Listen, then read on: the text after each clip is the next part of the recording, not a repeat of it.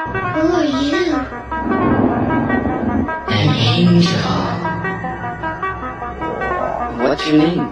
Satan.